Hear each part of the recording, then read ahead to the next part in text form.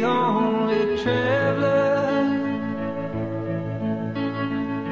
who is not repaid his debt. I've been searching for a trail to follow again. Take me back.